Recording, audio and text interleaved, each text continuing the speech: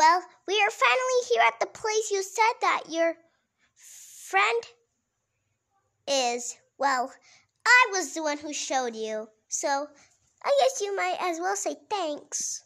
Or not. But yeah. So what now? Well, of course, now me and Philip are gonna go get our friend.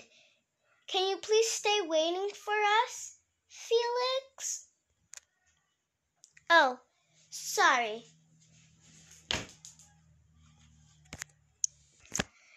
That is certainly not my name, but I'll let it slide. You can call me Felix however you want.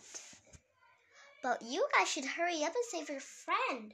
I heard that my that the person who stole your friend, aka my boss, is going to try to infect your friend. Now hurry up and go before it's too late. Well, we're finally here. Well, I guess inside the lab, Amy. I keep on forgetting your name. Is it Amy or Rose? It's Rose. Okay, Rose. But, yeah. We're finally inside the lab, I think.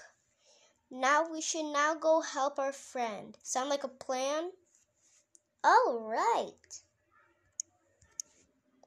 Oh, I'm so sorry. Okay, I'll tell you where your friend is. I think might be right here.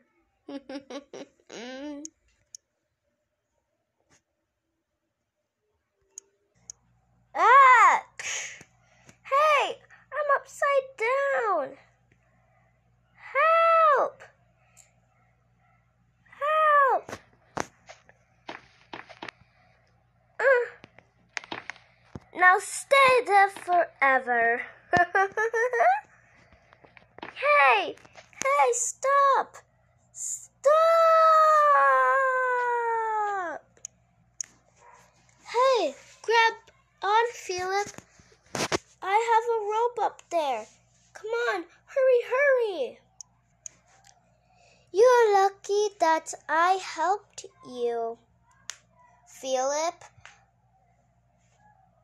Well, I kind of almost forgotted you. Well, at least you're okay.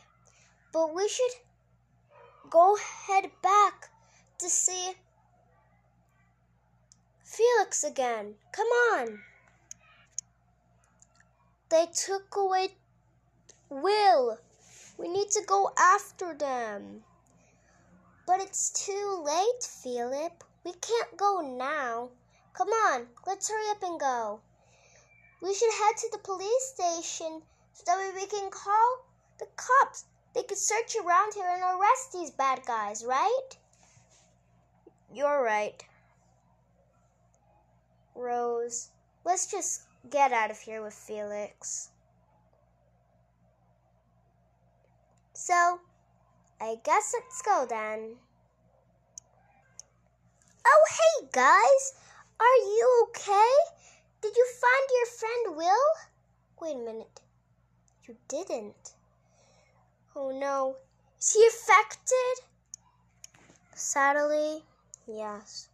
But we're going to the police station so that way we can call the cops for this lab. Then we can get all these people arrested for once and for all. Now, come on, Felix. Let's go. Okay? Okay.